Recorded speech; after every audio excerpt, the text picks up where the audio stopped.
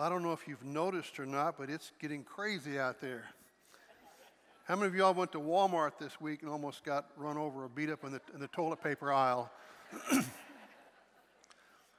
it's a scary place out there. This coronavirus is uh, doing some interesting things to our entire world. I got a son in law uh, that's uh, very, very intelligent, very, very smart. He's a financial advisor, and I know he's smart because he married my daughter. And uh, that's a, he saw a good investment when he, he, he knew one when he saw one there. But uh, he's not real optimistic about what's going on. And I'm not going to tell you things he's saying, but uh, it's looking pretty doom and gloom out there. Well, I want to ask you something as we think about that. How does, how does all that make you feel? You feel okay? Feel good? Excited? Looking forward to, like James says, because of uh, count it all joy, my brother, when you encounter various temptations or, or, or difficulties, are, are, considered all joy. Is that, is that your, your feeling there? Like the Apostle Paul when he says, We exalt in our tribulation. We get excited when bad things come. Is that where you are? Is that what you're feeling? Are you feeling that? Or rejoice in the Lord always? And again, I say rejoice. Now, here's what I think a lot of us do is we go, no, Ed, I don't feel any of that. I just choose to do that. Well, I want to suggest something to you. That's not true. You cannot choose to be joyful. You cannot choose those things. Either you are or you're not. For example, it's kind of like laughing. Make yourself laugh right now. Just make yourself laugh. yeah, that sounded really real. You know, I was. The, now, see, some of you over here really are laughing. Why? Because you thought that was funny. You believed that was funny, and so you laughed because you have to laugh when something's funny. Now, you can but you're still going to laugh because laughter is a spontaneous expression based upon what you believe in the moment. If I tell you a joke and you don't believe that it's funny, you don't laugh. Not really. Well, you might, like that. But that's not laughter. Laughter is a spontaneous expression, emotional expression that flows from that which you believe in the moment. Well, you know what? Joy is the same thing.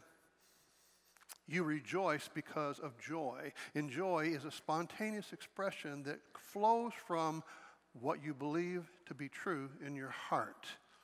It's true for all those kind of things. You can't make your, I'll just praise the Lord anyway. Well, you can say words that sound praising, but you won't truly praise the Lord anyway, because praise is also an uncontrollable, spontaneous expression of a heart belief. That's where it comes from.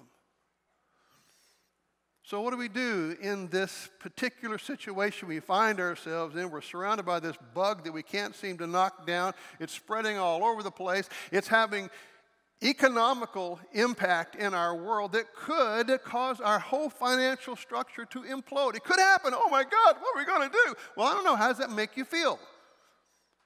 Why do I ask that question? Because you feel whatever you believe with your heart. Not what you believe with your head. Intellectually, you may believe all kinds of things that are true, but your heart always gives you away. Because whatever you believe with your heart will come through in your emotions. So, in this crisis, this situation we find ourselves in, what do you feel? Because the situation is exposing what you believe. Now, that's a good thing, actually. We're going to talk about that. You know, a few weeks ago, Pastor Perry brought a message, and he said something like this. He said, Folks, he says, you cannot grow spiritually apart from pain. Remember hearing him say that? He said, Apart from pain, you can't grow spiritually. and as I heard those words, I didn't react at all because he and I have had many conversations. The last two years, we've become good friends, and we, we share back and forth. We talk about, and we've talked through this many times. So I wasn't surprised when I heard that because I knew what he was saying. But I thought, I wonder people in the room, if when they heard that, did they really get what he was trying to say? Because he didn't really uh, expound on it. He just made the comment, apart from pain, you can't grow spiritually. And then he went on to something else. Well, I want to take that thought and I want to develop it this morning and then largely because I totally agree with that statement. You can't grow spiritually apart from pain. Now, I'm not talking about so much the physical pain, that's a part of it because we have life experiences that produce physical pain. But most of our life experiences that are painful and we reflect on them, we don't say, yeah, that was a painful experience because of the physical. We say it was a painful experience because of how it made me feel in the midst of it. We describe that was a painful experience because it was emotionally difficult. And I believe that apart from the emotional pain that stirs up in us in our difficult life situations, that is a catalyst and it's very important for your spiritual growth. And I want to show you why that's true. You didn't just hear me say that, that, that, that God wants us to live in negative emotion, but I do, I do want to say this. But before I get there, I want to say something else. So let me back up a few steps here. We hear the Bible, read the Bible, it says, Count it all joy, my brother, when you encounter various trials and temptations. And, and uh, Paul says, We exalt in our tribulations. Later, Paul says to, to pray without ceasing, rejoice in all things, give thanks in all things. We hear those passages and we say we agree with them. And, you would, and I think you would agree with me, like where Paul said in Romans 8 28, he said that, that God causes all things to work together for what? For the good. And you believe that, right? Do you believe that? Okay, we say we believe those things. But yet, our emotional status in the midst of a difficulty typically is contrary to that. So, how is it we say we believe those things, but yet we feel something else? Well, I want to suggest to you it's because we believe with our intellect what God's Word says, but yet we don't fully believe it in our hearts. Let me give you a test. How many believe the, Bible passage, Philippians 4.19, that says, My God will supply all of your needs according to his riches and glory? How many believe that's true? Well, let me, didn't, I didn't get a very good turn. Let me, let me ask it a different way. How many believe the Bible is the truth? Okay, there we go. Okay, now I've got you on the line. Now let's just let's take it a step forward. Because Philippians 4.19 is in the Bible, how many believe that it's true? There we go. Now we're all on board. All right. So you say you believe that God will supply all of your needs according to his riches and glory. You say you believe that. Let me ask this question. Have you at any time in the last, say, the last six months, had any inkling, small, minuscule amount of concern or worry or fear or anxiety concerning your finances? Has anybody had even a little bit of concern or worry? Well, here comes all the hands. Yeah. Now, well, you know what? Then something's wrong, folks. Because you just told me you believe that God will supply all of your needs according to his riches and glory, but yet you still worry over your finances. It's impossible to believe that God is the source and feel worried about it. It's impossible. You can't be concerned and worried of your finances if you believe that God is the supply of your source. You can't do it. It's impossible. So that tells me then you do believe the Bible is true intellectually concerning that verse, you do agree with it, but it's not yet fully known or believed with your heart because you know what? Your heart exposes you. You feel whatever you believe. That's the truth. Whatever you feel in any given moment is an exposure of what you believe with your heart. Your emotions flow from your heart's belief. You don't just feel anxious for no reason. You feel anxious because you believe something that makes you feel anxious. You don't feel afraid just because you, for no, some random cause. You feel afraid because you believe something that causes you to feel afraid. Your emotions match your belief. Here's a good comparison. Remember the story in the Bible where Jesus was in the boat, asleep in the stern of the boat, had a hard, long day there. He's taking some rest as they cross over the sea. Storm kicks up. It's a nasty storm. The disciples are feeling what? Terrified. They go up to find, they find Jesus asleep in the stern of the, the boat, and they go, Master, wake up! How in the world are you sleeping? Did you not know we are about to die? And Jesus wakes up, rubs his eyes a little bit, says, What? He said, Master, we're about to die. We're about to perish. Jesus goes, No, we're not. No, we're not. Oh, oh, the storm, peace be still. Now, what were you guys saying? we're going to die.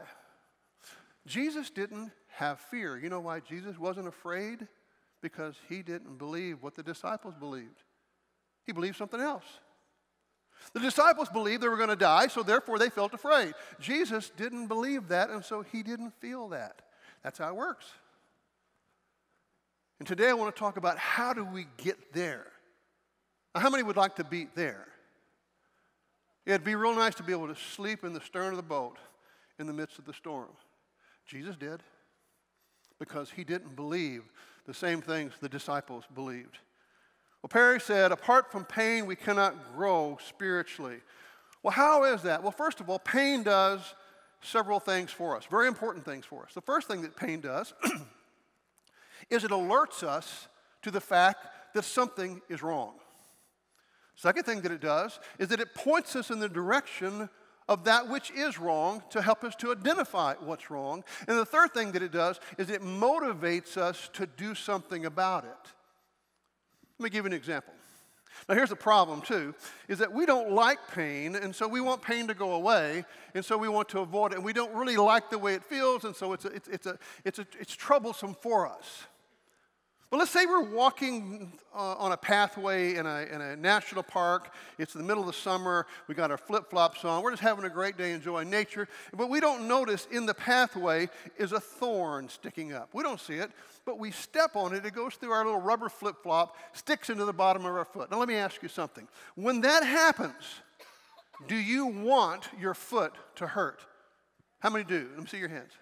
About three of you, okay? So let, me, let me say it again because I don't think you understood me. So you're walking through the path, you step on the thorn, it sticks up to your flip flop, runs up into the bottom of your foot. It hurts real bad. How many want your foot to hurt? Come on, guys.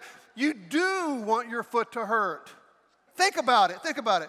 What if you step on the thorn and your foot doesn't hurt and it's three quarters of an inch up in the bottom of your foot and you just keep on walking? Is that good? So, do you want your foot to hurt? Yes. Do you like it hurting? No. But do you want it to hurt? Yes. Why? Because it alerts you something's wrong and it points you in the direction and it's in your foot and you go, I need to do something about it. God designed it that way. Because here, listen to this God wants you to feel depressed. He wants you to worry. He wants you to feel overwhelmed. He wants you to feel out of control. He wants you to feel dejected, abandoned, all those negative, terrible feelings. He wants you to feel those in all their intensity when you're believing a lie. Did you get that one? He wants you to feel bad when you believe a lie. When you step on a thorn, He wants you to feel it when you're believing a lie, He wants you to feel it. Because if you don't feel worried, anxious, overwhelmed, powerless, helpless, dejected, abandoned, if you don't feel those emotions when you're believing a lie, guess what you'll do? You'll just keep on living in your lie. You'll just keep on walking down the path, even though you got a thorn stuck right up in the bottom of your foot. So God has built into us, into us a system, a means by which He alerts us to that which needs to be attended to. That's one of the reasons why you can't grow spiritually apart from pain. Because we need now we need to look at what is spiritual growth. Because you're saying, well, Ed, wait a minute. I grow spiritually by reading the Bible and studying the Word of God. That's not painful. That's enjoyable. I like doing that. Okay, let's think about that for a minute. Does reading the Bible, memorizing Bible verses, thinking about it, all those things, actually produce spiritual growth? If so, then any unbeliever, any lost person, any atheist could do that. So, do they get to also grow spiritually? No. Now, I will admit to you and agree with you that you will grow intellectually and you will have a better understanding of the scriptures. But having an understanding and a knowledge of the Word of God does not necessarily guarantee spiritual growth. Now, it may be a part of moving in that direction, positioning you so, but it doesn't produce. It makes you smarter biblically, but there's no guarantee that you're growing spiritually. I mean, think about it. You memorize Philippians 4.19, my God will supply all your needs according to riches and glory, but you still worry finances. What's happening? Something's missing there. Something's not in sync there. There's a contradiction there. I say I know I'm Bible smart, but yet my heart says something else. I'm worried sick over my finance. I'm going to lose my 401, uh, 5K or whatever they call that. I'm going to lose my, my financial security. I'm losing my job. I'm going to get sick, yada, yada, yada. Your emotions are showing you the problem. There's a thorn in your foot, even though you already know the truth intellectually. James calls that being double minded, possessing two opposing beliefs at the same time. I believe with my mind that God will supply all my needs, but yet in my heart, I'm scared sick over my financial losses. Double mindedness. And what does he say about that? That man is unstable in all of his ways. Go back and look at uh, James chapter 1. We step on the thorn, we feel the pain, Life happens. We feel nervous, worried, anxious, overwhelmed. We feel the emotion. So now we, have, we see there's something's wrong. We identify the lie we believe. But here's what we tend to do right here when it comes to the motivation part motivate us to do something. Typically, what God wants us to do is that He wants us to move in His direction. As James says, draw near to God, he'll draw near to you. That's what he wants us to do. Cleanse your hands, your sinners, purify your hearts, you double minded. That's what God wants us to do. But what we typically do is we step on the thorn, the emotion stirs up, we feel the emotion, and because we don't like the way we feel, we tend to do one of three things. Typically, first thing we do is we make excuses. I'm just having a bad day. Yeah, it's just been so rough, so long, so hard. I just can't just pray that somehow I'll get through this, you know. We make excuses for the emotion that our heart is exposing us with. Second thing we tend to do is we tend to blame others or life for what we feel. You don't understand, Ed. The, the, this my wife. As soon as I walk in the back door, she's right in the middle of me, jumping all over me about what I didn't do or I should have done. If she would just stop doing that and start doing this, then I wouldn't feel this way. Folks, let me help you with that one. Your spouse, your employer, your life situation, your kids, nothing you have ever encountered in life up to this moment has ever made you feel anything that you feel. Let me say that one again. Nothing in your life, no one in your life has ever made you feel anything that you feel. Now, I didn't just say that what people do are good, and very well they may be evil and bad, what they did towards you. But your emotions are not coming from what they did, they're coming from how you believed and how you interpreted what they did. There's where the emotions come from. Your wife doesn't make you feel what you feel, you feel what you believe. Well, I believe my wife should have done what she did. No, that's not what I'm talking about. You believed something, you interpreted what she did, and that caused you to feel what you feel. Now, that's good news. That's actually good news because here's the truth. If indeed your spouse is making you feel what you feel, then guess what?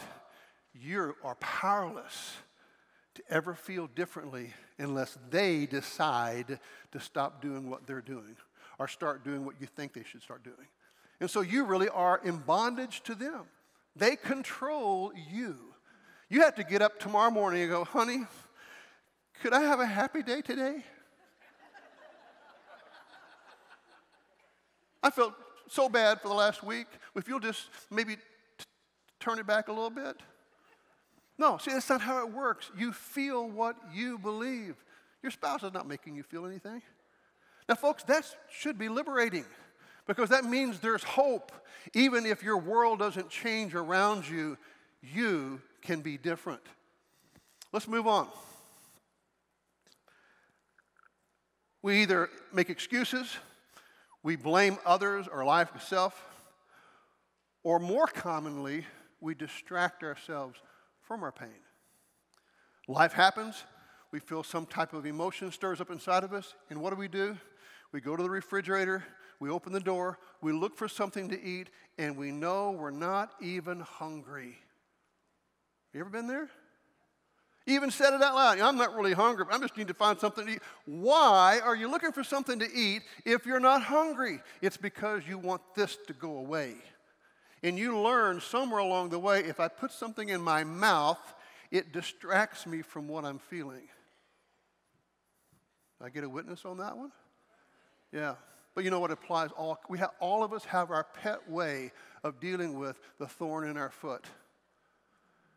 Now God's remedy is draw near to God, look to him, identify what it is you believe and allow his spirit to bring truth to our hearts. But we typically want to make excuses, blame everybody else and distract ourselves. God has a good purpose with emotional pain. Emotional pain alerts us to that which needs to be attended to. But now let's move to this next thought. Remember again that Perry said that we cannot grow spiritually apart from pain. Well, what is spiritual growth? Let me tell you what spiritual growth is not. Spiritual growth is not memorizing a Bible verse. Is that important? Yes. Should you do it? Of course you should do it. But that is not spiritual growth. That's intellectual growth. And you will grow intellectually, you'll have a better understanding. And I also believe that the intellect is the front door to the heart. And so I need to read and learn, but heart belief is not something that I can produce or I can bring about. Heart belief is what the Holy Spirit does. He's the one that convinces my heart of the truth.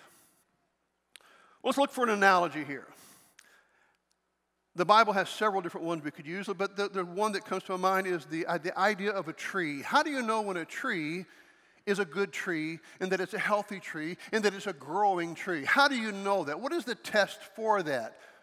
We're looking for something. What are we looking for? We're looking for fruit. Yes, exactly. If a tree is bearing good fruit, we say that's a good tree and it's a healthy tree and it's a productive tree. That would be a, an analogy of spiritual growth, a tree that's bearing fruit. Jesus said it this way He said that I am the vine, you're the branches and that, if, uh, that every branch that bears fruit, he prunes it so that it may bear more fruit. Now, here's the analogy I want us to see God is looking at our life, and he's looking for something. He's looking for fruit. He's not looking for performance. We've already seen that spiritual growth is not intellectual prowess. But another thing that spiritual growth is not is spiritual growth is not me doing the very best that I can to live and to look like Jesus. That's not spiritual growth. Whoa, whoa, whoa, whoa. Ed, Ed, Ed, time out. Wait a minute. I've committed my life to Christ. I am doing the best I can to follow him and to, to keep his commands and, and to do this and to do that, all that. I said, you know, you're right. That, that's, I, I hear that. But you know what? Much of what we call spiritual growth or spiritual behavior in the church. Most, most of that, if not all of that, could be performed and accomplished by any lost person, any unbeliever who just set their mind to doing it. So, how is my controlling my behavior, trying to live and look like Jesus, how is that spiritual growth if that's, that's the same thing that a lost person can do? I want to suggest to you that it's not. Spiritual growth is not measured by how well I live the Christian life. God is looking for one thing He's looking for fruit. That's how you tell if a tree is growing, is the fruit. Now, what is the fruit? Well, the fruit is the fruit of the what? Holy Spirit. Whose fruit is the fruit of the Spirit? Whose is it? It's the Spirit's fruit. So then, why are we trying so hard to produce that which is somebody else's responsibility? See, what we've done is we've made the fruit of the Spirit a to do list that we somehow want to check off the boxes as we accomplish them. Somehow, the fruit of the Spirit is the, uh, the behavior that, I'm, I, that I control myself to do. You know, we even encourage each other. You know, you need to work on your patience. You need to, you need to try hard to be a little more kind. You need to, you need to, to do better in this area or this area. that is not spiritual growth. That's what any lost person could do who set his mind to. You know what? We expend so much energy. We try so hard to conform ourselves to what the truth says, and God is wanting to transform us with his truth. Do you see the distinction there? There's a difference between me trying to do the truth and the truth transforming me. I hope that one is, is, is, is finding a place to rest. Because this is a lie that got sold to the church a long time ago, and we bit it, we believed it, is that I just need to just do the best I can to live and look like Jesus. I need to really try hard. Matter of fact, there was a fad that came out some years ago, the What Would Jesus Do bracelet to put on our wrist to remind us to do the right thing. You know why that fad didn't last? Because it didn't work.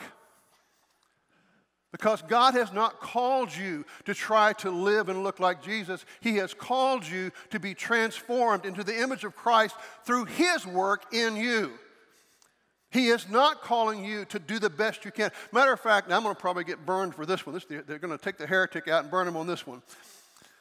The only person rejoicing on your best day at trying to live and look like Jesus, trying to do the best you can to keep his commandments, trying to do the best you can to control your behavior, to stop sinning and start doing good, the person that's rejoicing the most, you ready for this, is Satan himself. Because he knows you can't do it. But you know what? God is not impressed by your best day. He's going, You're wearing yourself out trying to do that which I want to do in you. Let's use another analogy of the scripture. We see, we see Martha and Mary. Where's what's Martha doing? She's doing the very best she can to do what she believes is the right thing to do. She's in the kitchen, she's working, working, trying to work for Jesus. At some point, she gets tired and she goes, You know what? This is not working. Jesus, tell Mary to get up and come in here and help me. And what does Jesus say? No, Martha, Martha, you're so busy with so many things so distracted. Mary has chosen the better thing, and no one's going to take it from her. What's Mary doing? Nothing. She's sitting at the feet of Jesus. She has positioned herself to be transformed. That's what God's calling for you. That's what He wants you to do. He wants to transform you into His likeness. He has not asked you to try to do that because you can't do that. You can't change yourself. And your best day of controlling your behavior is no better than the guy that doesn't even know Jesus, a lost man, who might try to do that. That's called deeds of the flesh. And even when the deeds of the flesh look good and are accomplishing good things and benefiting people in many ways, they are still the efforts of your own self. That is not the fruit of the Holy Spirit.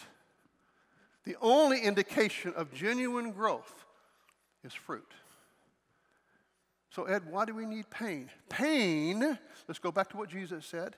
He says, Those branches that are not bearing fruit, we cut off so that you might bear more fruit. Now, he didn't say if you don't bear fruit, you're cut off. He says we cut off those branches that are not bearing fruit. The pain is the way that God has built into the system to expose in you the branches that need to be pruned. And apart from the pain, you won't know where to look. But because there's pain, you know where to look. And because you know where to look, you can say, God, you know what? I feel anxious and worried right now. This coronavirus thing, it's got me scared to death. And I feel this emotion. Well, now we know where to look. I believe something right there. And that belief is what God's going, yeah, and that's something we need to cut off so that you might bear fruit. Well, what kind of fruit? How about peace? How about joy? How about patience? You want some of that? Yeah. There's a passage that says Paul is praying to, I believe, the church of Thessalonica. he prays this prayer. He says, May the Lord of peace himself grant you peace in every circumstance. Now, listen to that verse again. May the Lord of peace himself. Now, who's going to be doing the work here? May the Lord of peace himself grant you peace, continually grant you peace in every circumstance. Now, what does that tell us? Well, it says this that if you don't have peace in every circumstance, something is wrong. Because if I don't have peace, I have something else. There's the thorn in the foot. Alarm going off. Something's wrong here because the Lord of peace wants to grant you peace in every circumstance. And if you don't have peace, which is a fruit of the Holy Spirit, then you ask the question, why not? The only answer is because I believe something contrary to the truth that would be producing peace in my life, I believe something else. And because I believe something else, I feel what I feel.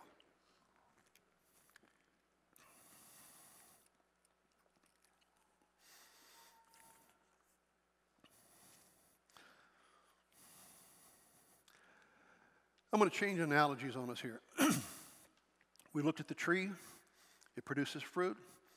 We know we have spiritual growth. If there's no fruit, we know we, we don't have spiritual growth. There's another analogy in the scriptures, probably more prevalent than the tree analogy, and that's the refiner's fire analogy. Back oh, to 50 years ago now, I'm, I'm getting old, but at, 40, at least 48 years ago, I used to work in a steel mill as a, as a teenager. 18 year old, 19 year old kid. and in that steel mill, they had a place where they were melting down the, uh, the iron ore, melting it to a liquid form. And then the guy's job that was overseeing this large vat of molten steel, his job was to drag off the top of that the impurities that were coming to the surface. His job was called the slagger. He was dragging off the slag or the dross. He had this big ladle, ladle thing. He's pulling the dross, and all day long he just dragged that stuff off. What's happening is in the midst of that fire, that heat, whatever is not iron ore comes to the surface. Now, the Bible analogy is the idea of purifying gold. And you have the guy who has the pot of gold, he's heated it up. The impurities, that which is not gold, comes to the surface. The reason being is that gold is heavier and it sinks to the bottom, stays on the bottom.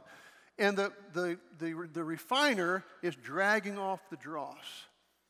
And finally, after all the dross is drug off, the molten gold will have a high mirror reflection. Now, what's the analogy here? This virus we're going through, the financial crisis we may be getting ready to enter into, all the things that's happening into your life, is the refiner's fire. But that's good news because I want you to reframe all the difficulties in your life the way the Bible reframes those. And First Peter calls it the mighty hand of God. He says, Humble yourselves, therefore, under the mighty hand of God. He's referring back to the suffering that they're going through. We got a refiner who is managing the flame. I didn't just say that God sent the virus on you, but I'm saying everything goes back to God. He is sovereign or he's not. So we got a, the guy, the refiner, that's, that's, that's watching the gold, scraping off the dross. You know what the dross is? The dross is the lies you believe coming to the surface through your emotions. Because the fire is pulling out whatever you believe. When you enter into a difficult life situation, you will feel whatever you believe in that moment. Now you can say, well, anybody would feel this way. It's just normal reaction to the difficulties of life is, no, that's not true. Jesus slept during the storm and the disciples panicked during the storm. How is that? There's only one difference between the two of them. It was belief. Jesus believed something different than they believed. Therefore, he didn't panic and they did. You heat up the fire, whatever you believe will come to the surface. It will be exposed in the moment, but that's good because now you're in a position for the refiner to pull off the dross, to pull off the dross. And little by little, what happens is a refined faith, a purified faith. This is interesting. The Bible says that our faith needs to be refined. You always think of faith as something good. Well, faith is actually, listen to this, faith is actually everything that you believe to be the truth with your heart. Now, the problem is, not everything you believe to be the truth with your heart is the truth. That's why your faith needs to be purified because you don't have a pure faith, but God wants to purify your heart belief. Because to the degree that He purifies your heart belief, you will effortlessly experience the fruit of the Holy Spirit. Did you get that? You will effortlessly experience the fruit of the Holy Spirit when you believe the truth with your heart. You don't make yourself joyful or make yourself loving or try to be more patient. You are loving, joyful, peaceful, patient, good, gentle, kind, faithful, and self controlled. You become that. That's the fruit of the Holy Spirit. As he drags off the dross, what happens is the final product is a refined gold. One day at the steel mill, I asked the guy, I said, How do you know when to, you pour the, the iron ore out when it's pure, when it's ready to go. He goes, Well, watch this. He says, Do you notice out over the top of that, that vat there, there's some dark spots. I, I said, Yeah. He goes, You see the rest of it's like it's a shiny, shiny mirror finish? I said, Yeah. He goes, Well, let me drag that off. Me drag that off. He says, When I can see my reflection in the molten steel, and I don't see any dark spots, I know it's ready. That's the analogy we see in 1 Peter chapter 4, verses 12 and 13. Peter says this. He says, don't be surprised or caught off guard by this fiery ordeal that's come upon you as though some strange thing were happening to you. Now, how many times when life comes at us it's a difficult situation do we go, Why is this happening? Why, God? And Peter's going, Don't be surprised by the fiery ordeal that's come upon you as though some strange thing were happening to you.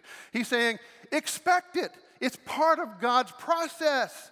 It's the refiner's fire. He's melting down the gold. He's dragging off the dross. So don't be caught off guard. Don't be surprised by the fire doors come up on you some, as though some strange thing were happening to you.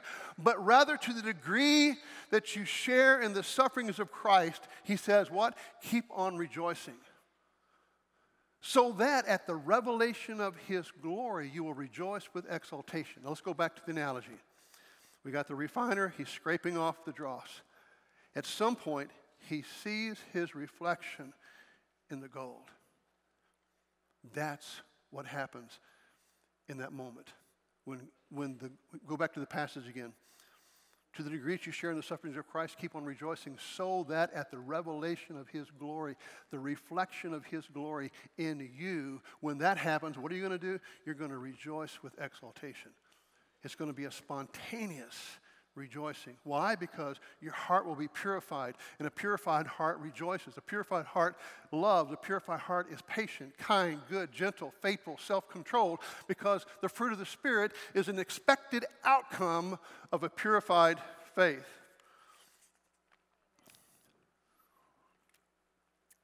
We're not going to get through this morning. I got one more thing to say. if you were to go to Colossians chapter 1, verse 10, not verse 9, but verse 10, you would say it says, doesn't say that. Listen to this passage here. Walk in a manner worthy of the Lord, to please Him in all respects, bearing fruit in every good work, growing in the knowledge of Him. Now, when you read that verse, does that sound like something to go do? A task to perform? A mandate given to you to carry out? That's what it sounds like to me if I read that verse right there. And that's typically what people do. They read that verse, walk in a manner worthy of the Lord, to please Him in all respects, bearing fruit in every good work, and grow in the knowledge of Him. Okay, I got my assignment. Now I'm going to go out. I'm going to do it. I got to walk in a manner worthy of the Lord. Wait a minute. That's pretty, wait a minute. Walk in a manner worthy of the Lord. Whew, pretty high standard. To please Him in all respects. Oh. Bearing fruit in every good work. Seriously, God? And grow in the knowledge of Him. Okay, I can go memorize some Bible verses. I can do that one. I'll work on that one. That's not what the Bible verse is saying. You got to go back to verse 9, which is the proper order of things. Let's read verse 9. Paul says, For this reason, since the day we heard of it, we have not ceased to pray for you. Pray for what? To ask that God will fill you with the knowledge of his will in all spiritual wisdom and understanding, so that you will walk in a manner worthy of the Lord, to please Him in all respects, bearing fruit in every good work and growing the knowledge of Him. Do you see the order of things? God has to grant you something, and when He grants you something, the outcome is something. We pray that God will grant you a spirit of wisdom and the knowledge of Him, that He will persuade your heart of the truth. And when you know the truth in your heart, you will walk in a manner worthy of the Lord. You will please Him in all respects. You will bear fruit in every good work, and you'll grow in the knowledge of Him. And it doesn't require effort on your part because it's an outcome of what He has done in you. Go back and study the scriptures. There's, there's tons of them that show you God is at work in you. He is accomplishing in you. He is bringing it about. Uh, uh the one that comes to my mind is 1 Thessalonians 5, I think around 23, where Paul says something. What does Paul say? Help me out there, guys. He says something. What does he say, guys? You're not going to help me, are you? Okay, I'm going to go find it for myself. No, that's not it either. I'm looking for 1 Thessalonians 5.23. Maybe you don't have it. You know what? You probably don't have it. But I got it. Paul says, May the God of peace himself, listen what he said right there. May the God of peace himself. So who's doing it? He is. Okay, may the God himself, himself sanctify you or make you pure entirely. May your spirit, soul, and body be preserved complete without any blame at the coming of the Lord Jesus Christ. Now listen, faithful is he who called you, and he will bring it about. Are you hearing that? It didn't say any place in there. Try hard, do the best you can, dig in there, discipline yourself, beat yourself, try to do better, stop sinning, start doing. It's not there. And folks, let's, let's just be honest with ourselves. That approach hasn't worked, has it? It hasn't worked because it was never intended to work. The law wasn't given to help you, it was given to kill you. That's why the law was given. God gave us the law to condemn us. He gave us the law to show us that apart from Christ, we can do nothing. That's good news, folks. He wants us to get out of the kitchen he wants us to come and sit next to Mary. Because what's Mary doing? She's receiving. Now, you know what? I wish I had time. I don't have time. But everything that I said this morning and more is in a book that my son and I wrote together, along with another book we wrote together. And as Oprah Winfrey would say, you're getting a free car. But no, you're not getting a free car. but you are getting free books. I want to give everybody in this room and everybody watching this on video to know you're getting a free book. And how can you do that? Well, it's because I'm going to give you the digital copy. It's online. You can go there, you can download it, you can read it for yourself. The green book is what we call the Essentials of Transformation Prayer Ministry, what you've heard today and a whole lot more. The second book is The Process of Transformation Ministry, and this is how do you sit down with Mary so that you can receive. That's what this book is about. They're free, they're yours. All you got to do is go get them, download them, study them, learn. God wants to transform your life.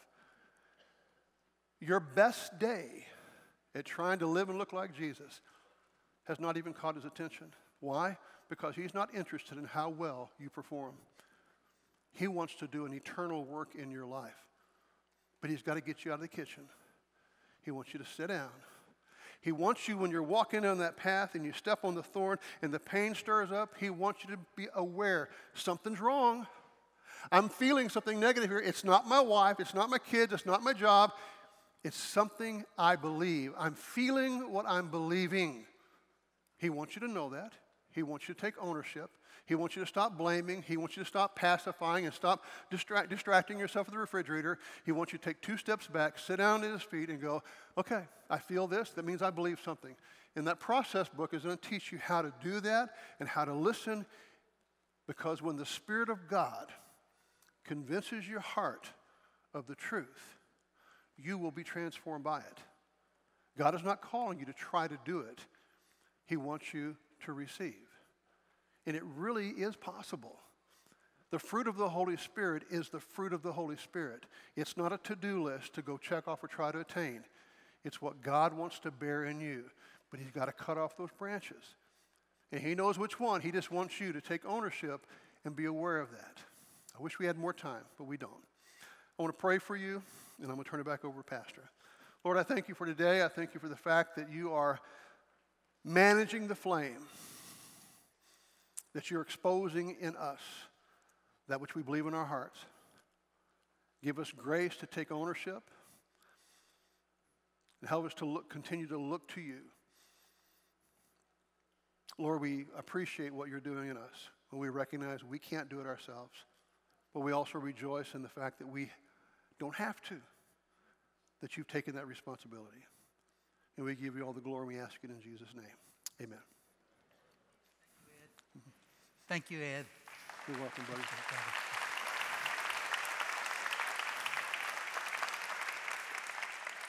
If Ed, while Ed was teaching, if the Spirit stirred something in you, there'll be counselors here, and they will, of course, deal with you at an appropriate distance due to the current precautions. Uh, we will collect our offerings at the doors. So the offering collectors are now taking their spots. You can also, as I said, you can drop checks in the slots in the outside walls, or you can give online. So we urge you to please uh, respond that way as well. What will we do going forward? Well, if the South Carolina DHEC suggests we don't have large gathering meetings, we will comply with that. But right now, we will continue in our current schedule. In the event that we do cancel services, you'll receive an email, and we are prepared to stream these services on Sunday morning, and then you could watch them Sunday morning or afterwards. So we will continue to have services, but you may not be able to collect in this building. So we'll just wait and see. We want to cooperate. So thank you for coming today. Thank you for uh, demonstrating that faith to, to walk forward. And we appreciate what Ed has revealed to us today by the Spirit. Father, we thank you for, for you. I pray, Lord, that you would show us where we believe something that's not true, where, that we're, where we're living out a lie and it's causing pain. And Lord, Conform us by your Spirit that we might look more like Christ and bear fruit that brings you glory. Father, I pray that during this time of fear and struggle that our nation is fast falling into, I pray that people's eyes would be turned to you and that you would glorify yourself as you protect people from illness, stopping the spread of this illness, as you heal and restore those who have become sick, as you protect the economy, not only of our country, but even other countries in the world, Lord, where they're struggling.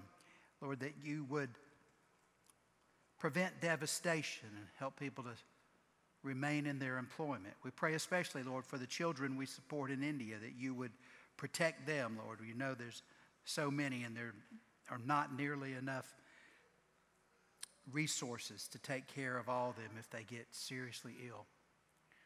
We just thank you for, for your son that, who died so we could experience life. In his name we pray. Amen. Thank you for coming.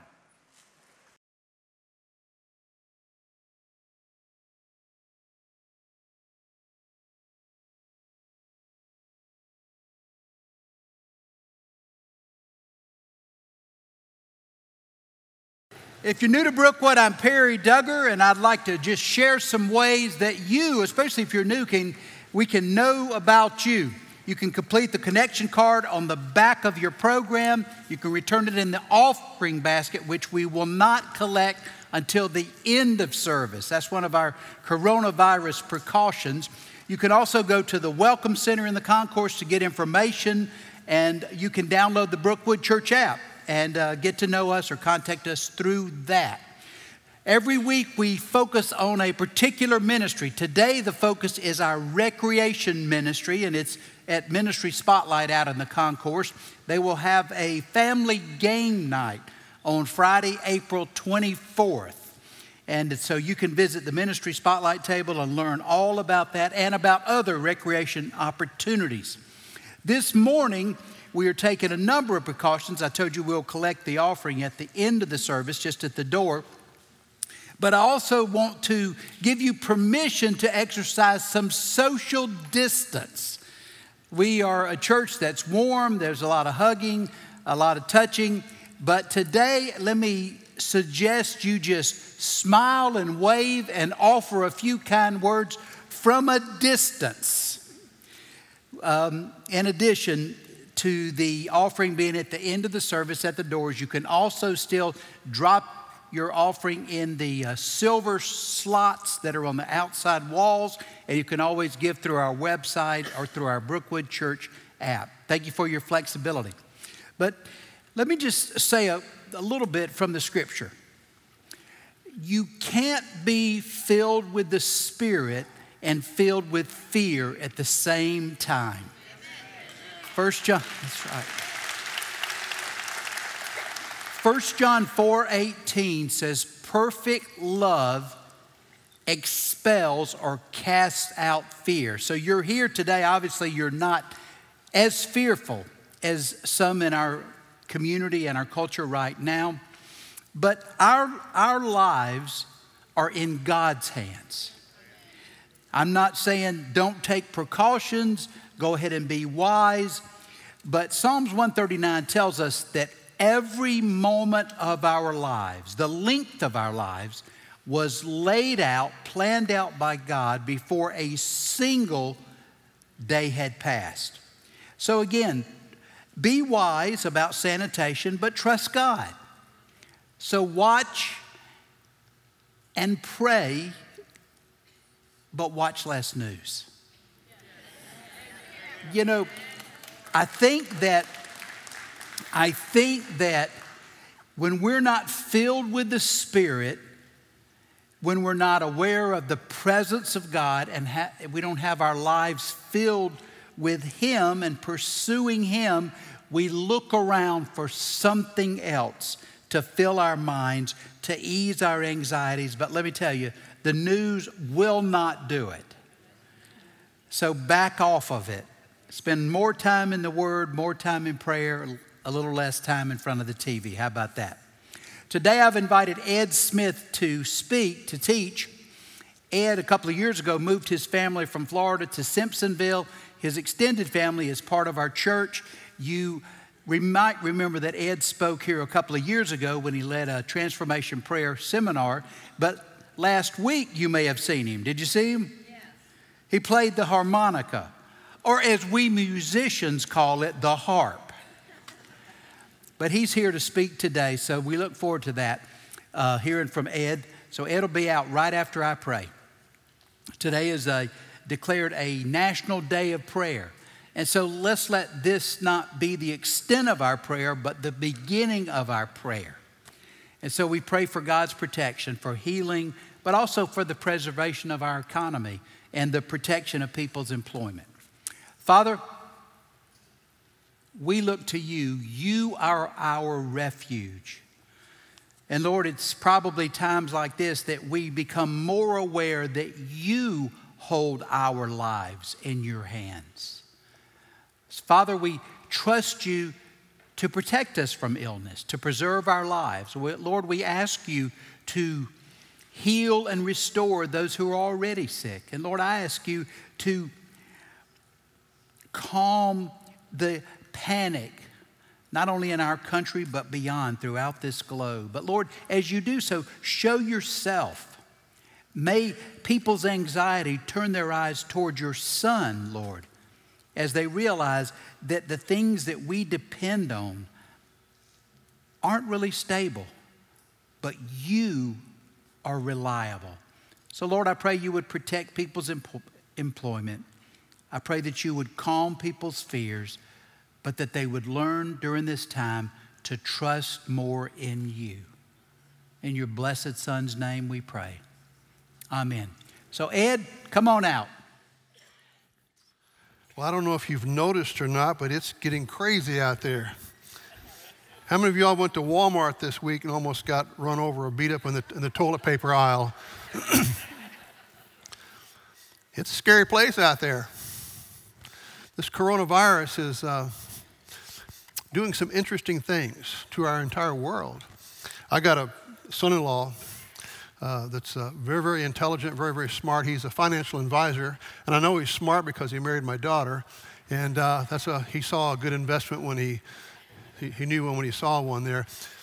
But uh, he's not real optimistic about what's going on. And I'm not going to tell you things he's saying, but uh, it's looking pretty doom and gloom out there. Well, I want to ask you something as we think about that. How does, how does all that make you feel? You feel okay? You feel good, excited, looking forward to, like James says, because of uh, count it all joy, my brother, when you encounter various temptations or, or, or difficulties, are, are, considered all joy. Is that, is that your, your feeling there? Like the Apostle Paul when he says, We exalt in our tribulation. We get excited when bad things come. Is that where you are? Is that what you're feeling? Are you feeling that? Or Rejoice in the Lord always. And again, I say rejoice. Now, here's what I think a lot of us do is we go, no, Ed, I don't feel any of that. I just choose to do that. Well, I want to suggest something to you. That's not true. You cannot choose to be joyful. You cannot choose those things. Either you are or you're not. For example, it's kind of like laughing. Make yourself laugh right now. Just make yourself laugh. Yeah, that sounded really real. You know, I was. Now, see, some of you over here really are laughing. Why? Because you thought that was funny. You believed that was funny, and so you laughed because you have to laugh when something's funny. Now, you can but you're still going to laugh because laughter is a spontaneous expression based upon what you believe in the moment. If I tell you a joke and you don't believe that it's funny, you don't laugh. Not really. Well, you might like that. But that's not laughter. Laughter is a spontaneous expression, emotional expression that flows from that which you believe in the moment. Well, you know what? Joy is the same thing. You rejoice because of joy. And joy is a spontaneous expression that flows from what you believe to be true in your heart.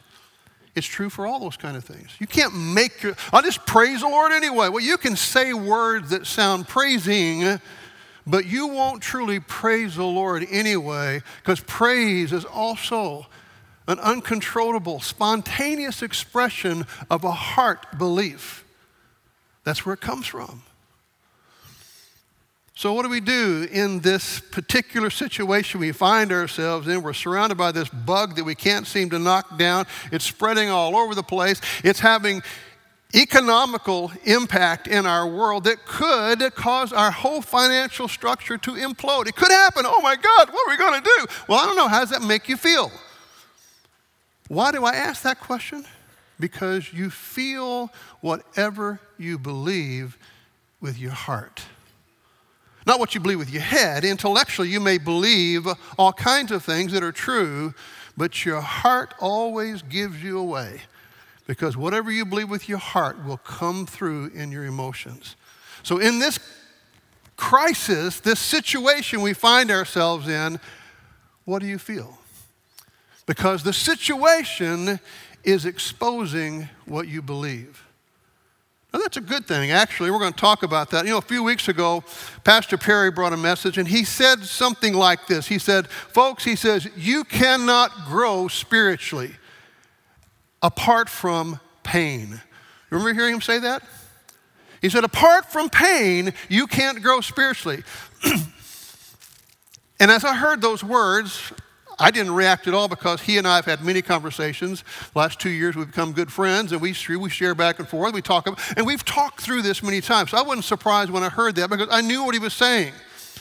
But I thought, I wonder people in the room, if when they heard that, did they really get what he was trying to say? Because he didn't really uh, expound on it. He just made the comment, apart from pain, you can't grow spiritually. And then he went on to something else. Well, I want to take that thought and I want to develop it this morning and then largely because I totally agree with that statement. You can't grow spiritually apart from pain. Now, I'm not talking about so much the physical pain, that's a part of it because we have life experiences that produce physical pain. But most of our life experiences that are painful and we reflect on them, we don't say, yeah, that was a painful experience because of the physical. We say it was a painful experience because of how it made me feel in the midst of it. We describe that was a painful experience because it was emotionally difficult. And I believe that apart from the emotional pain that stirs up in us in our difficult life situations, that is a catalyst and it's very important for your spiritual growth. And I want to show you why that's true. You didn't just hear me say that, that, that, that God wants us to live in negative emotion, but I do, I do want to say this. But before I get there, I want to say something else. So let me back up a few steps here.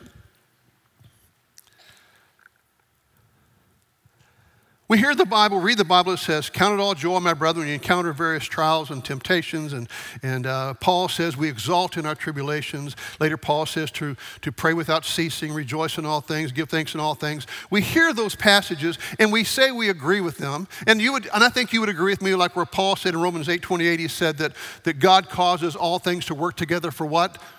For the good. And you believe that, right? Do you believe that? Okay, we say we believe those things. But yet, our emotional status in the midst of a difficulty typically is contrary to that. So, how is it we say we believe those things, but yet we feel something else? Well, I want to suggest to you it's because we believe with our intellect what God's word says, but yet we don't fully believe it in our hearts. Let me give you a test. How many believe the, the Bible passage, Philippians 4.19, that says, My God will supply all of your needs according to his riches and glory? How many believe that's true? Well, let me, didn't, I didn't get a very good turn. Let me, let me ask it a different way. How many believe the Bible is the truth? Okay, there we go. Okay, now I've got you on the line. Now let's just, just take it a step forward. Because Philippians 4.19 is in the Bible, how many believe that it's true? There we go. Now we're all on board. All right. So you say you believe that God will supply all of your needs according to his riches and glory. You say you believe that. Let me ask this question.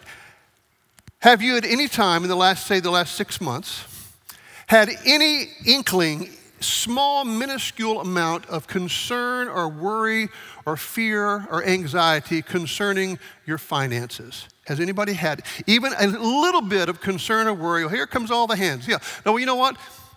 Then something's wrong, folks, because you just told me you believe that God will supply all of your needs according to his riches and glory, but yet you still worry over your finances. It's impossible to believe that God is the source and feel worried about it. It's impossible. You can't be concerned in word of your finances if you believe that God is the supply of your source. You can't do it. It's impossible. So that tells me then you do believe the Bible is true intellectually concerning that verse. You do agree with it, but it's not yet fully known or believed with your heart because you know what? Your heart exposes you. You feel whatever you believe. That's the truth. Whatever you feel in any given moment is an exposure of what you believe with your heart. Your emotions flow from your heart's belief.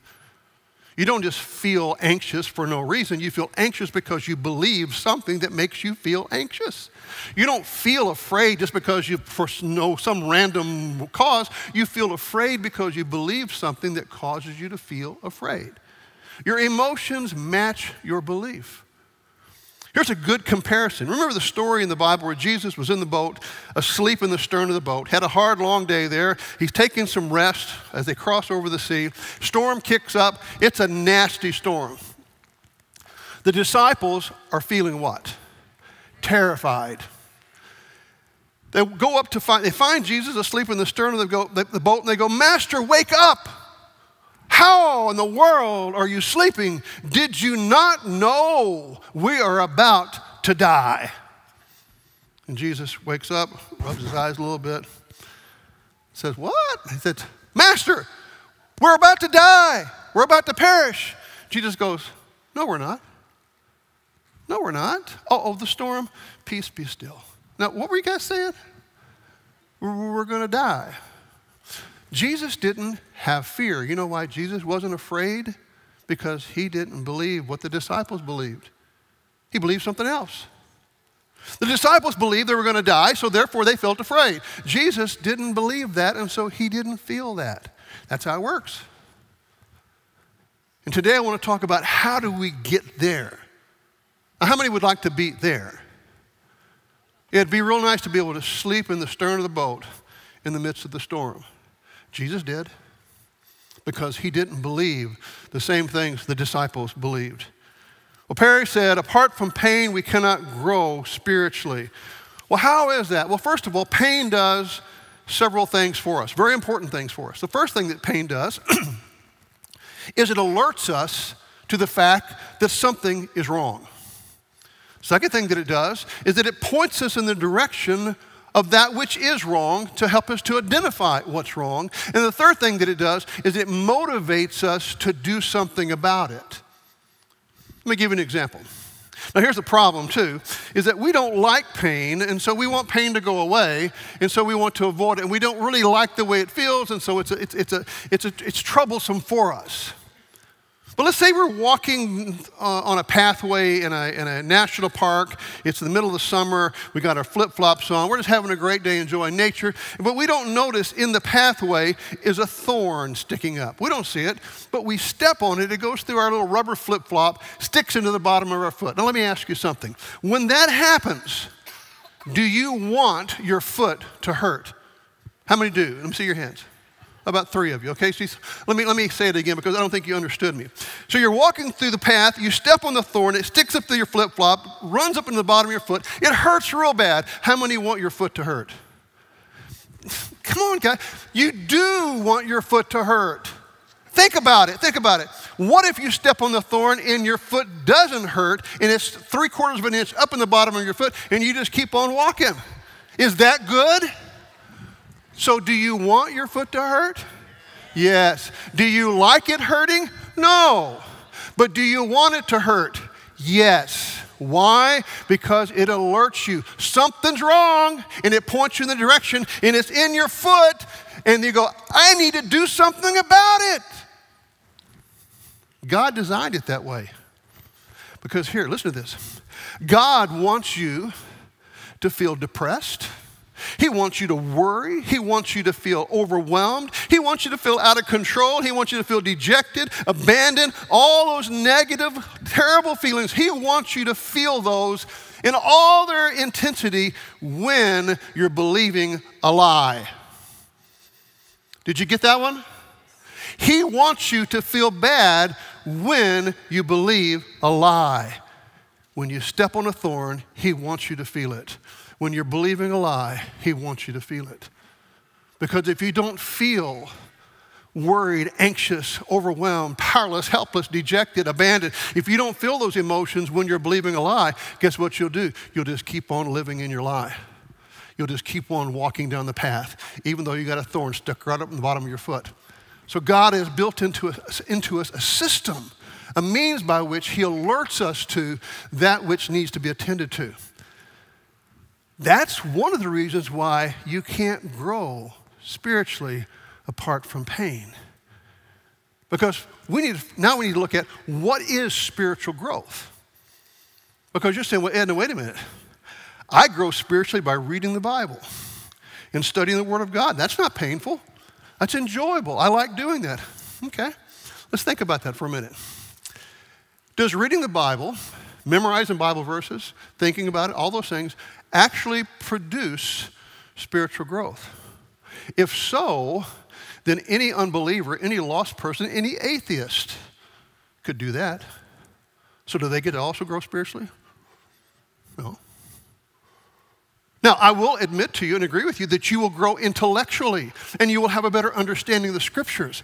But having an understanding and a knowledge of the Word of God does not necessarily guarantee spiritual growth. Now, it may be a part of moving in that direction, positioning you so, but it doesn't produce. It makes you smarter biblically, but there's no guarantee that you're growing spiritually.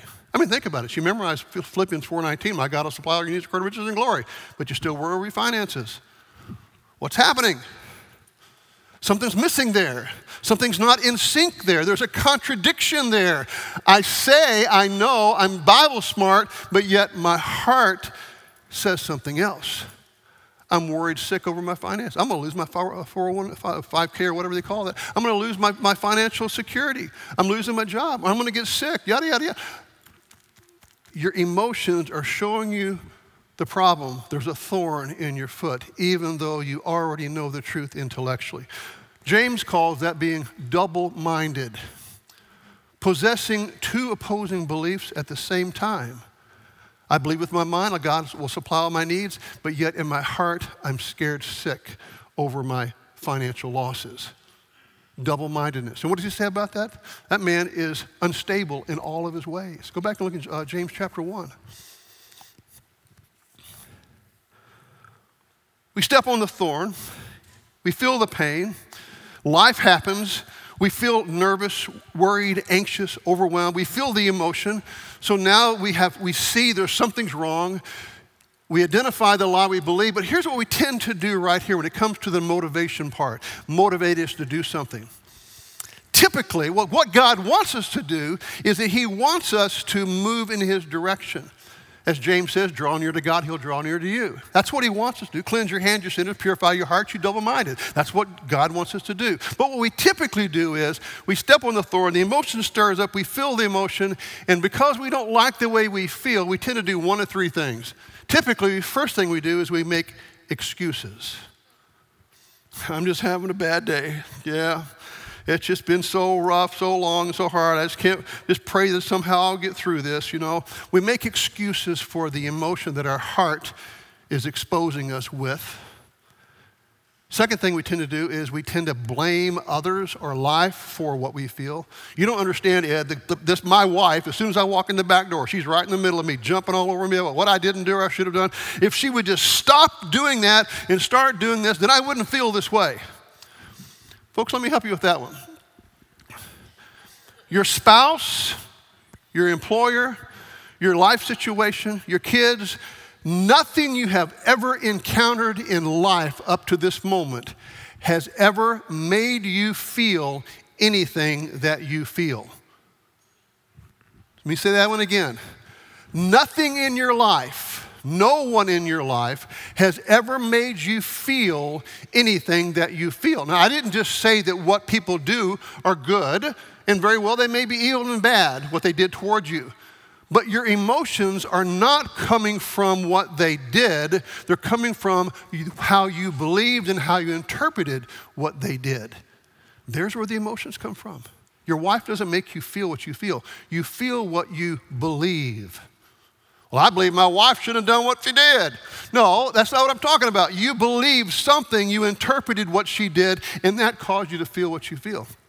Now, that's good news. That's actually good news because here's the truth if indeed your spouse is making you feel what you feel, then guess what? You are powerless to ever feel differently unless they decide to stop doing what they're doing or start doing what you think they should start doing. And so you really are in bondage to them. They control you. You have to get up tomorrow morning and go, honey, could I have a happy day today? I felt so bad for the last week. If you'll just maybe t- turn it back a little bit. No, see, that's not how it works. You feel what you believe. Your spouse is not making you feel anything. Now, folks, that should be liberating because that means there's hope. Even if your world doesn't change around you, you can be different. Let's move on. We either make excuses we blame others or life itself, or more commonly, we distract ourselves from our pain. Life happens, we feel some type of emotion stirs up inside of us, and what do we do? We go to the refrigerator, we open the door, we look for something to eat, and we know we're not even hungry. You ever been there? Even said it out loud. I'm not really hungry, but I just need to find something to eat. Why are you looking for something to eat if you're not hungry? It's because you want this to go away.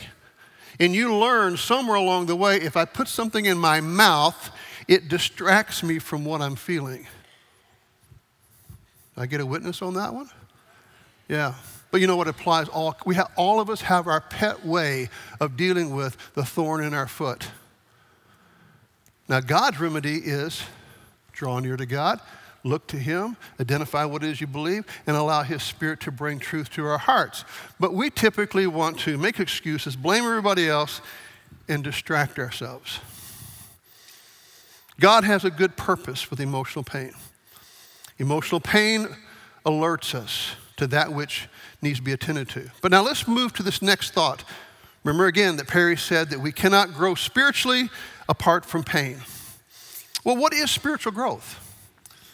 Let me tell you what spiritual growth is not. Spiritual growth is not memorizing a Bible verse. Is that important? Yes. Should you do it? Of course you should do it. But that is not spiritual growth. That's intellectual growth. And you will grow intellectually, you'll have a better understanding. And I also believe that the intellect is the front door to the heart. And so I need to read and learn, but Heart belief is not something that I can produce or I can bring about. Heart belief is what the Holy Spirit does. He's the one that convinces my heart of the truth. Let's look for an analogy here. The Bible has several different ones we could use, but the, the one that comes to my mind is the, the idea of a tree. How do you know when a tree is a good tree and that it's a healthy tree and that it's a growing tree. How do you know that? What is the test for that?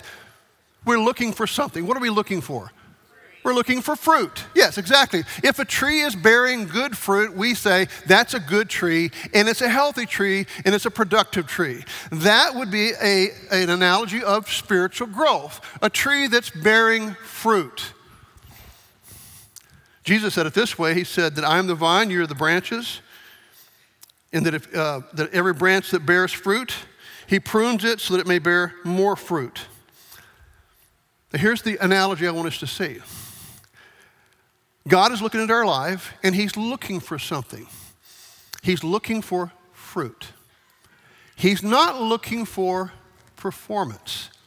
We've already seen that spiritual growth is not intellectual prowess.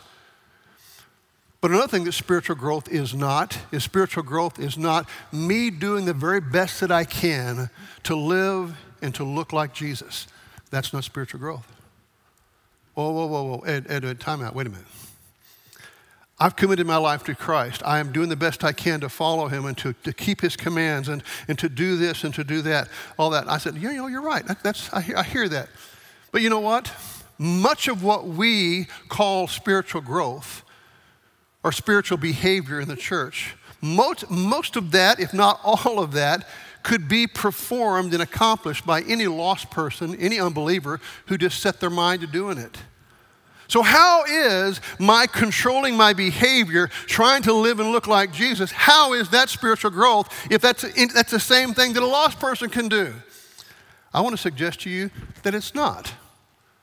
Spiritual growth is not measured by how well I live the Christian life. God is looking for one thing He's looking for fruit. That's how you tell if a tree is growing, is the fruit. Now, what is the fruit? Well, the fruit is the fruit of the what? Holy Spirit. Whose fruit is the fruit of the Spirit? Whose is it? It's the Spirit's fruit. So then, why are we trying so hard to produce that which is somebody else's responsibility? See, what we've done is we've made the fruit of the Spirit a to do list that we somehow want to check off the boxes as we accomplish them. Somehow, the fruit of the Spirit is the, uh, the behavior that, I'm, I, that I control myself to do. You know, we even encourage each other. You know, you need to work on your patience. You need to, you need to try hard to be a little more kind. You need to, you need to, to do better in this area or this area. that is not spiritual growth. That's what any lost person could do. He set his mind to. You know what? We expend so much energy. We try so hard to conform ourselves to what the truth says, and God is wanting to transform us with His truth. Do you see the distinction there? There's a difference between me trying to do the truth and the truth transforming me. I hope that one is, is, is, is finding a place to rest because this is a lie that got sold to the church a long time ago and we bit it, we believed it, is that I just need to just do the best I can to live and look like Jesus. I need to really try hard. Matter of fact, there was a fad that came out some years ago, the What Would Jesus Do bracelet to put on our wrist to remind us to do the right thing. You know why that fad didn't last? Because it didn't work. Because God has not called you to try to live and look like Jesus. He has called you to be transformed into the image of Christ through His work in you. He is not calling you to do the best you can. Matter of fact, I'm going to probably get burned for this one. This, they're going to take the heretic out and burn him on this one. The only person rejoicing on your best day at trying to live and look like Jesus, trying to do the best you can to keep his commandments, trying to do the best you can to control your behavior, to stop sinning and start doing good, the person that's rejoicing the most, you ready for this, is Satan himself. Because he knows you can't do it. But you know what? God is not impressed by your best day. He's going, You're wearing yourself out trying to do that which I want to do in you. Let's use another analogy of the scripture. We see, we see Martha and Mary. Where's Mar- what's Martha doing? She's doing the very best she can to do what she believes is the right thing to do. She's in the kitchen, she's working, working, trying to work for Jesus. At some point, she gets tired and she goes, You know what? This is not working. Jesus, tell Mary to get up and come in here and help me. And what does Jesus say? No, Martha, Martha, you're so busy with so many things. So distracted. Mary has chosen the better thing, and no one's going to take it from her. What's Mary doing? Nothing. She's sitting at the feet of Jesus. She has positioned herself to be transformed. That's what God's calling for you. That's what He wants you to do. He wants to transform you into His likeness. He has not asked you to try to do that because you can't do that. You can't change yourself. And your best day of controlling your behavior is no better than the guy that doesn't even know Jesus, a lost man, who might try to do that. That's called deeds of the flesh. And even when the deeds of the flesh look good and are accomplishing good things and benefiting people in many ways, they are still the efforts of your own self. That is not the fruit of the Holy Spirit. The only indication of genuine growth is fruit. So, Ed, why do we need pain? Pain, let's go back to what Jesus said. He says, Those branches that are not bearing fruit, we cut off so that you might bear more fruit. Now, he didn't say if you don't bear fruit, you're cut off. He says we cut off those branches that are not bearing fruit. The pain is the way that God has built into the system to expose in you the branches that need to be pruned. And apart from the pain, you won't know where to look. But because there's pain, you know where to look. And because you know where to look, you can say, God, you know what? I feel anxious and worried right now. This coronavirus thing, it's got me scared to death. And I feel this emotion. Well, now we know where to look. I believe something right there. And that belief is what God's going, yeah, and that's something we need to cut off so that you might bear fruit. Well, what kind of fruit? How about peace? How about joy? How about patience? You want some of that? Yeah. There's a passage that says Paul is praying to, I believe, the church of Thessalonica. he prays this prayer. He says, May the Lord of peace himself grant you peace in every circumstance. Now, listen to that verse again. May the Lord of peace himself. Now, who's going to be doing the work here? May the Lord of peace himself grant you peace, continually grant you peace in every circumstance. Now, what does that tell us? Well, it says this that if you don't have peace in every circumstance, something is wrong. Because if I don't have peace, I have something else. There's the thorn in the foot. Alarm going off. Something's wrong here.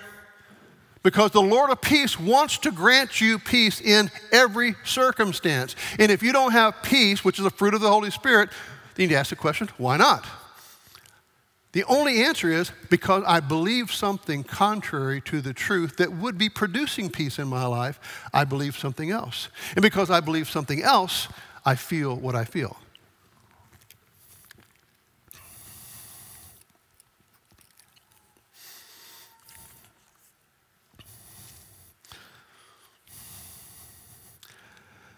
I'm going to change analogies on us here.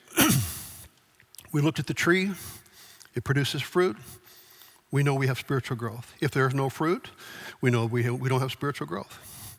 There's another analogy in the scriptures, probably more prevalent than the tree analogy, and that's the refiner's fire analogy. Back oh, to 50 years ago now, I'm, I'm getting old, but at, 40, at least 48 years ago, I used to work in a steel mill as a, as a teenager, 18 year old, 19 year old kid. and in that steel mill, they had a place where they were melting down the, uh, the iron ore, melting it to a liquid form. And then the guy's job that was overseeing this large vat of molten steel, his job was to drag off the top of that the impurities that were coming to the surface. His job was called the slagger. He was dragging off the slag or the dross. He had this big ladle, ladle thing. He's pulling the dross, and all day long he just dragged that stuff off. What's happening is in the midst of that fire, that heat, whatever is not iron ore comes to the surface. Now, the Bible analogy is the idea of purifying gold. And you have the guy who has the pot of gold, he's heated up. The impurities, that which is not gold, comes to the surface. The reason being is that gold is heavier and it sinks to the bottom, stays on the bottom.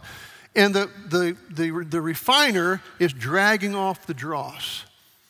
And finally, after all the dross is drug off, the molten gold will have a high mirror reflection. Now, what's the analogy here? This virus we're going through, the financial crisis we may be getting ready to enter into, all the things that's happening into your life is the refiner's fire. Now, that's good news because I want you to reframe all the difficulties in your life the way the Bible reframes those. And First Peter calls it the mighty hand of God. He says, Humble yourselves, therefore, under the mighty hand of God. He's referring back to the suffering that they're going through. We got a refiner who is managing the flame. I didn't just say that God sent the virus on you, but I'm saying everything goes back to God. He is sovereign or he's not. So we got a, the guy, the refiner, that's, that's, that's watching the gold, scraping off the dross. You know what the dross is? The dross is the lies you believe coming to the surface through your emotions. Because the fire is pulling out whatever you believe. When you enter into a difficult life situation, you will feel whatever you believe in that moment. Now you can say, well, anybody would feel this way. It's just normal reaction to the difficulties of life is, no, that's not true. Jesus slept during the storm and the disciples panicked during the storm. How is that? There's only one difference between the two of them. It was belief. Jesus believed something different than they believed. Therefore, he didn't panic and they did. You heat up the fire, whatever you believe will come to the surface. It will be exposed in the moment, but that's good because now you're in a position for the refiner to pull off the dross, to pull off the dross. And little by little, what happens is a refined faith a purified faith. This is interesting. The Bible says that our faith needs to be refined. You always think of faith as something good. Well, faith is actually, listen to this, faith is actually everything that you believe to be the truth with your heart. Now, the problem is, not everything you believe to be the truth with your heart is the truth. That's why your faith needs to be purified because you don't have a pure faith, but God wants to purify your heart belief. Because to the degree that He purifies your heart belief, you will effortlessly experience the fruit of the Holy Spirit. Did you get that? You will effortlessly experience the fruit of the Holy Spirit when you believe the truth with your heart. You don't make yourself joyful or make yourself loving or try to be more patient. You are loving, joyful, peaceful, patient, good, gentle, kind, faithful, and self controlled. You become that. That's the fruit of the Holy Spirit.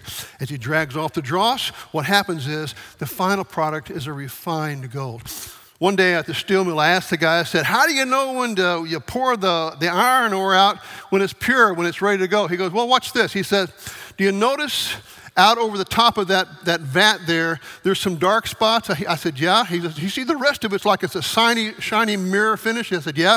He goes, Well, let me drag that off. Me drag that off. He says, When I can see my reflection in the molten steel, and I don't see any dark spots, I know it's ready. That's the analogy we see in 1 Peter chapter 4, verses 12 and 13. Peter says this. He says, Don't be surprised or caught off guard by this fiery ordeal that's come upon you as though some strange thing were happening to you. Now, how many times when life comes at us in a difficult situation do we go, Why is this happening? Why, God? And Peter's going, Don't be surprised by the fiery ordeal that's come upon you as though some strange thing were happening to you. He's saying, Expect it. It's part of God's process. It's the refiner's fire. He's melting down the gold. He's dragging off the dross. So don't be caught off guard. Don't be surprised by the fire ordeals come upon you as though some strange thing were happening to you. But rather, to the degree that you share in the sufferings of Christ, he says, What? Keep on rejoicing so that at the revelation of his glory you will rejoice with exultation. Now let's go back to the analogy. We got the refiner, he's scraping off the dross. At some point, he sees his reflection in the gold. That's what happens in that moment. When, when the, go back to the passage again. To the degree that you share in the sufferings of Christ, keep on rejoicing, so that at the revelation of His glory, the reflection of His glory in you, when that happens, what are you going to do? You're going to rejoice with exaltation. It's going to be a spontaneous rejoicing. Why? Because your heart will be purified, and a purified heart rejoices. A purified heart loves. A purified heart is patient, kind, good, gentle, faithful, self controlled, because the fruit of the Spirit is an expected outcome of a purified faith. We're not going to get through this morning. I got one more thing to say. if you were to go to Colossians chapter 1, verse 10, not verse 9, but verse 10, you would say it says, doesn't say that.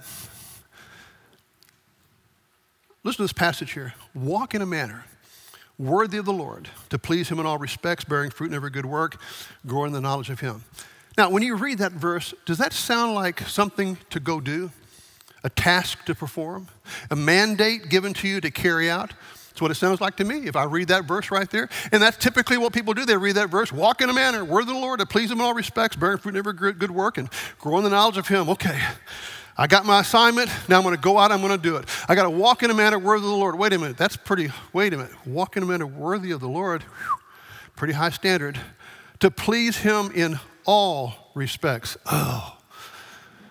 Bearing fruit in every good work. Seriously, God? And grow in the knowledge of Him. Okay, I can go memorize some Bible verses. I can do that one. I'll work on that one. That's not what the Bible verse is saying. You got to go back to verse 9, which is the proper order of things. Let's read verse 9.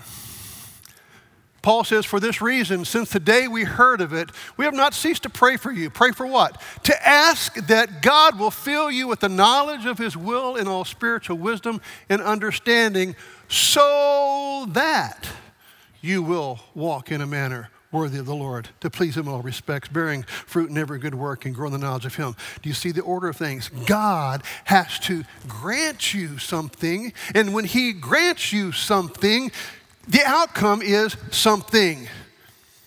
We pray that God will grant you a spirit of wisdom and the knowledge of Him, that He will persuade your heart of the truth. And when you know the truth in your heart, you will walk in a manner worthy of the Lord. You will please Him in all respects. You will bear fruit in every good work, and you'll grow in the knowledge of Him. And it doesn't require effort on your part because it's an outcome of what He has done in you. Go back and study the scriptures. There's, there's tons of them that show you God is at work in you. He is accomplishing in you. He is bringing it about. Uh, uh the one that comes to my mind is 1 Thessalonians 5, I think around 23, where Paul says something. What does Paul say? Help me out there, guys. He says something. What does he say, guys? You're not going to help me, are you? Okay, to go find it for myself. No, that's not it either. I'm looking for 1 Thessalonians 5.23. Maybe you don't have it. You know what? You probably don't have it. But I got it. Paul says, May the God of peace himself, listen what he said right there. May the God of peace himself. So who's doing it? He is. Okay, may the God himself, himself sanctify you or make you pure entirely. May your spirit, soul, and body be preserved complete without any blame at the coming of the Lord Jesus Christ. Now listen, faithful is he who called you, and he will bring it about. Are you hearing that? It didn't say any place in there, try hard, do the best you can, dig in there, discipline yourself, beat yourself, try to do better, stop sinning, start doing. It's not there.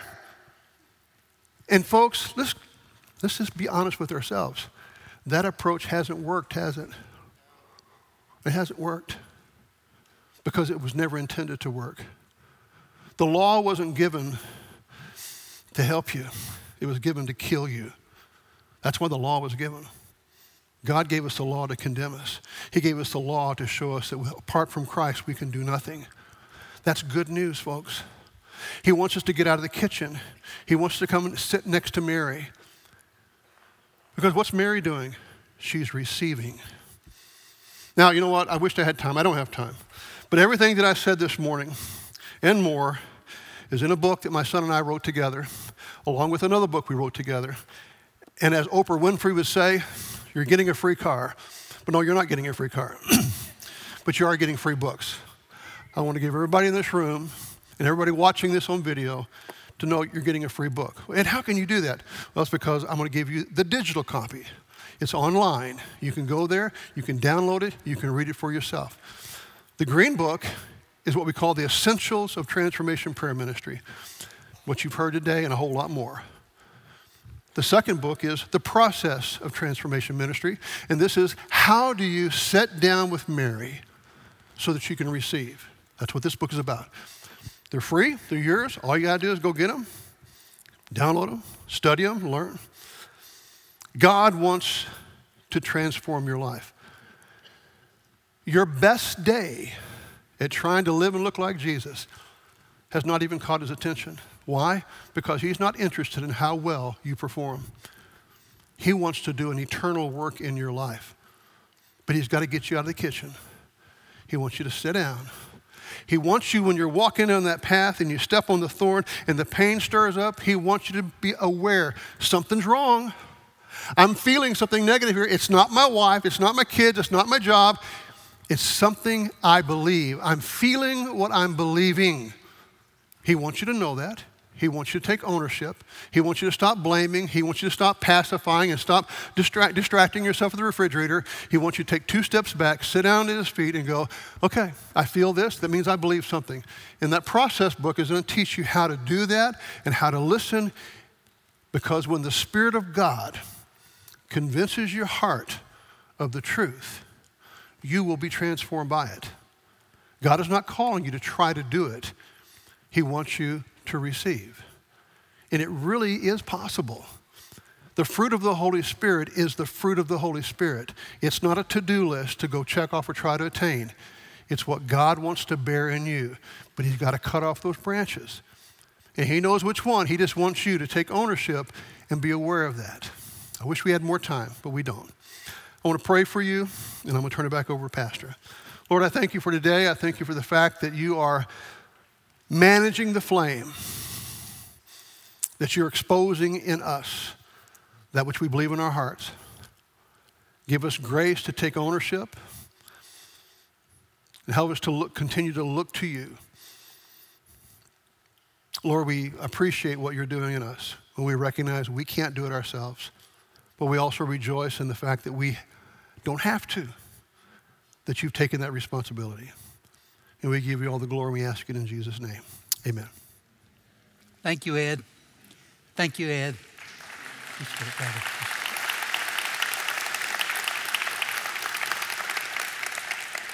If Ed, while Ed was teaching, if the Spirit stirred something in you, there'll be counselors here and they will, of course, deal with you at an appropriate distance due to the current precautions.